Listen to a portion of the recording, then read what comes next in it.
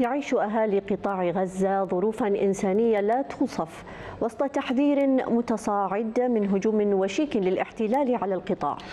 وفيما تحولت أجزاء واسعة من غزة إلى جحيم لا يطاق تحت وطأة القصف لجأ مئات الآلاف إلى مدارس الأنروا بحثا عن ملاذ آمن. جثث باتت تملأ المكان وأحياء يبحثون عن الأمان ولا يجدوه. سكان غزة بين جحيم اللجوء الجديد ونار الموت. أزمة إنسانية كارثية لا توصف. سكان تائهون في الشوارع يبحثون عن ملجأ من الموت المتهاطل عليهم من قنابل الاحتلال ويجدون أنفسهم أمام سؤالين إلى أين نذهب وإلى متى سيستمر الضرب والموت. من لحظة ما رموا المناشير والواحد على أعصابه هيك شادة بالذات فترة الليل. إحنا عارفين نطلع. قالوا توجهوا على الجنوب. فيش مواصلات. شارع صلاح الدين مغلق. سيارات فوق بعض. انضربت السيارات. في الليل الأولاد بيرتميوا في حضن الواحد بصيروا يعيطوا ويبكوا. احمونا احمونا. كيف نحميهم؟ ليش نحميهم؟ وإحنا طالعين من الدار قعدنا نبوس في حيطان الدار. هجرة. هذه هجرة. لا الله أعلم عاد نتمنى العالم يطلع لنا. ويشوف كيف عايشين. زي ما أنتم شايفين من حيطان ودار ومية وعز.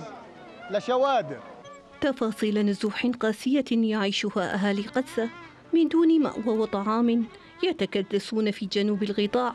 يفترشون الأرض أمام المباني وفي الشوارع. بعد أن امتلأت مدارس الأونروا بالنازحين. وفيما سعى مئات الآلاف إلى الاستجابة لأوامر الاحتلال بإخلاء شمال القطاع احتشد آخرون في المستشفيات بحثا عن مكان للمبيت أو الطعام أو الشراب. وكالة الأمم المتحدة لغوث وتشغيل اللاجئين الفلسطينيين الأونروا من جهتها حذرت أن نقص المياه في قطاع غزة أصبح مسألة حياة وموت مشددة في الوقت ذاته من مخاوف انتشار الأوبئة في مدارس تستقبل نازحي غزة ومن بين قصص الألم تبرز مأساة الأطفال فعلى كل خد صغير متورد جرح قائر أو قصة ألم تخيفهم أصوات القنابل والانفجارات. مفيش ناس بخاف وبرتعب. وفي الليل يعني بحضن بابا وإنا نكون. وفيش مكان نروح نتخبى منه. من القصف ولا من إيش. ف طول حياتنا بأس ومش عارفين كيف نقعد.